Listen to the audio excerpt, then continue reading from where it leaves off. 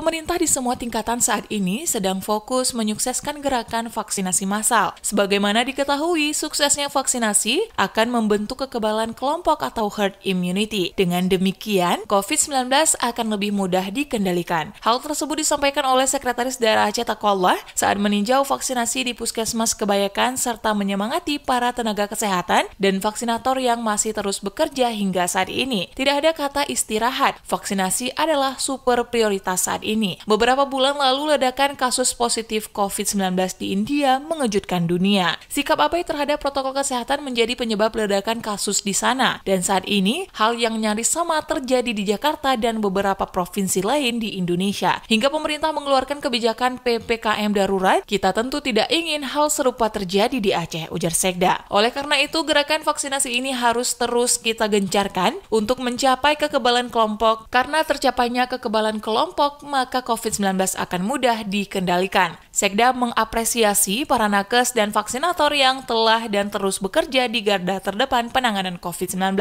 Keseriusan kerja kita adalah bentuk rasa syukur atas nikmat sehat yang telah Allah karuniakan kepada kita. Sekali lagi terima kasih atas dedikasi semua pihak atas perjuangan melawan COVID-19 selama ini. Selalu jaga kesehatan dan terus ingatkan semua orang untuk patuh protokol kesehatan dan ikut vaksinasi COVID-19.